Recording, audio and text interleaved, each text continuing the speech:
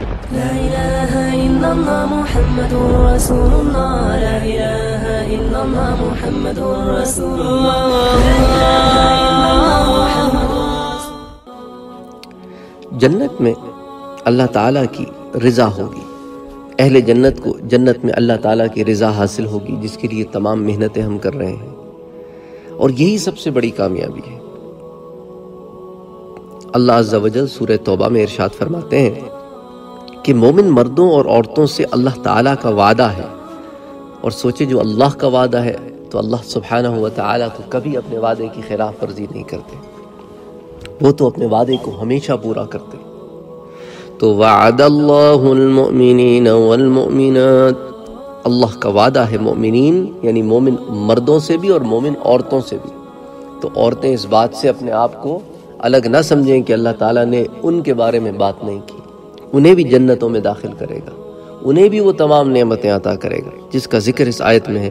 وعد اللہ المؤمنین والمؤمنات۔ مؤمنین، مومن مرد، مؤمنات، مومن عورتیں۔ جنت تجری من تحتها الانہار۔ ایسی جنتیں کہ جن کے نیچے نہریں بہتی ہوں گی۔ سبحان اللہ سبحان اللہ۔ یعنی کہ آپ یہ دیکھیں کہ اگر آپ یہاں پر دنیا میں کسی ایسے مقام پر رہتے ہیں جہاں میٹھے پانی کی قلت ہے، تو یہ چیز آپ کو اٹریکٹ کرے گی کہ ایسی جگہ جہاں نیچے نہریں بہ رہی ہیں۔ یعنی اتنی سرسبز و شاداب جگہ ہے کہ اس کی رگوں میں بھی نہریں ہیں۔ اور جو ظاہر میں بہ رہی ہیں، وہ تو بہ رہی ہیں۔ جنت تجری من تحتها الانہار خالدین فیہا۔ اور یہ جو سارا کچھ ہے، یہ باغ ہیں، اس کے نیچے بہتی نہریں ہیں، یہ سارا کچھ ہمیشہ رہے گا، کبھی ختم نہیں ہوگا۔ It will never evaporate کبھی ایویپوریٹ نہیں ہوگا، کبھی ختم نہیں ہوگا۔ خالدین فیہا ومساکن طیبتا فی جنات عدن۔ اور وہ ہمیشہ اس میں رہیں گے، ان صدا بہار باغوں میں۔ ان کے لیے پاکیزہ قیام گاہیں ہوں گی، مساکین طیبتن پاکیزہ قیام گاہیں ہوں گی۔ وَرِضْوَانٌ مِّنَ اللَّهِ، اور اللہ کی ان کو رضا بھی حاصل ہوگی۔ وَرِضْوَانٌ مِّنَ اللَّهِ أَكْبَرُ ذَلِكَ فَوْزُ الْعَظِيمِ۔ اور اللہ کی رضا حاصل ہوگی، اور اصل میں یہی تو بہت بڑی کامیابی ہے۔ تو سورہ توبہ میں اللہ سبحانہ و تعالی نے اپنی رضا کا اور نعمتوں کا ایک نقشہ کھینچا اس آیت میں۔ پھر سورہ توبہ کی ایک اور آیت میں اللہ عز و جل فرماتے ہیں، یبشرہم ربہم برحمت منہ ورضوان وجنات لہم فیہا نعیم مقیم۔ ان کا رب انہیں اپنی رحمت اور رضا اور ایسی جنت کی بشارت دیتا ہے، جہاں ان کے لیے دائمی نعمتیں ہوں گی۔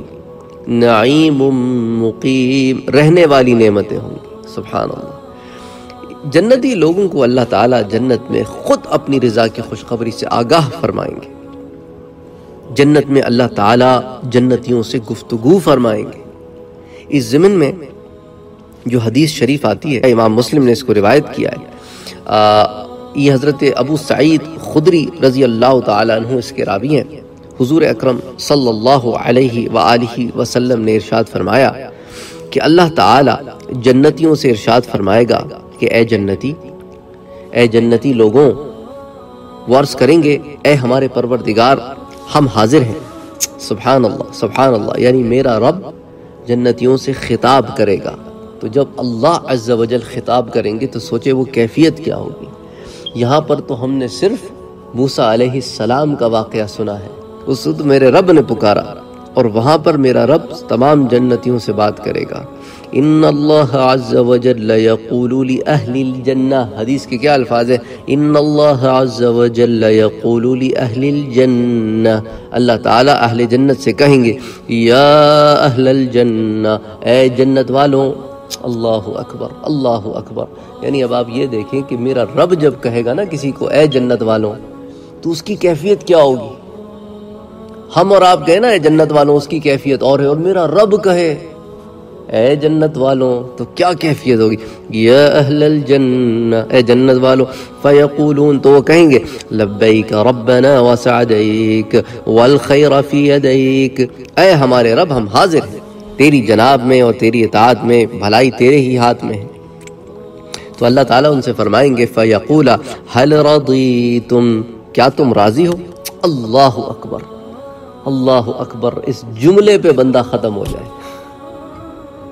اس جملے میں فرت محبت سے اور فرت خوشی سے اور فرت حیرانگی سے ختم ہو جائے بندہ کہ میرا رب اتنا سب کچھ دینے کے بعد بھی پوچھ رہا ہے کہ کیا تم راضی ہو؟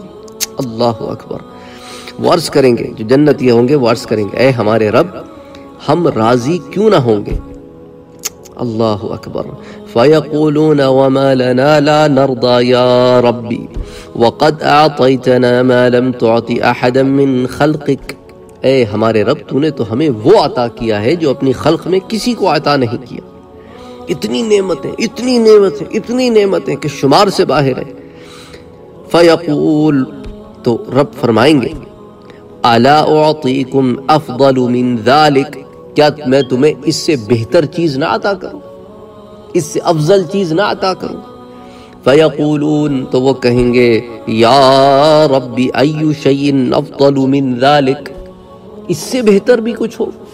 اس سے بہتر۔ یہ جو اتنی ساری نعمتیں، یہ سارا کچھ جو تو نے عطا کیا، اس سے افضل کیا ہوگا ہمارے رب؟ فیقولو، تو رب فرمائے گا۔ اللہ اکبر۔ احل علیکم رضوانی۔ اللہ تعالیٰ فرمائے گا، میں تمہیں اپنی رضا مندی سے نواز رہا ہوں۔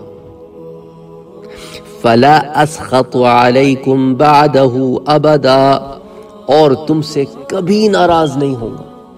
اللہ اکبر۔ اب اس کے دو پہلو نکلتے امام مسلم کی روایت تو یہاں ختم ہو جاتی ہے، اس کے پہلو دو نکلتے ہیں۔ ایک تو یہ کہ کبھی ناراض نہیں ہوں گا۔ یہ خود ایک بہت بڑی نعمت ہے، اور سب سے بڑی نعمت ہے کہ رب ہمیشہ راضی ہو جائے، ہمیشہ کے لیے۔ دوسرا، تمہارے وہ تمام ایلیمنٹس ہی ختم ہو جائیں گے جن سے تم رب کی ناراضگی کو خریدتے ہو اور رضامندی سے دور ہٹتے ہو۔ اب تمہارے اندر صرف وہی ایلیمنٹس ہوں گے اور تمہارے اطراف و اکناف میں اس وہی ایلیمنٹس ہوں گے، وہی چیزیں ہوں گی جن سے تم اپنے رب کا قرب حاصل کرو گے۔ اور اس میں ترقی کرو گے، نعمتیں بڑھتی رہیں نعمتیں کم نہیں ہوں گی، حسن و جمال بڑھے گا۔ ذائقہ بڑھے گا۔ نعمتوں کو تم لطف اندوز ہوتے رہو گے، کبھی بور نہیں ہوگے۔ اصل میں یہی راز ہے بور نہیں ہونے کا، کہ انسان جو ہے، اس کو کوئی چیز مل جائے نا کرنے کے لیے، تو وہ بور نہیں ہوتا۔ اور جنت میں تو اتنا کچھ ہے کرنے کے لیے کہ انسان کا بور ہونے کا سوال ہی پیدا نہیں ہوتا۔ لوگ کہتے ہیں جی ہم کام ہی نہیں ہوگا کوئی جنت میں۔ جنت میں تمہیں اتنے کام ہوں گے تمہیں فرصت ہی نہیں ملے گی۔ کیا کام ہوں گے؟ دوسرے والے کام ہوں گے۔ رشتہ داروں سے ملو گے، دوست احباب سے ملو گے، خاندان والوں سے ملو گے، جنت میں بازار ہوں گے، بازار جاؤ گے، بغیر پیسے کے خرید و فروخت کر کے گھر آؤ گے۔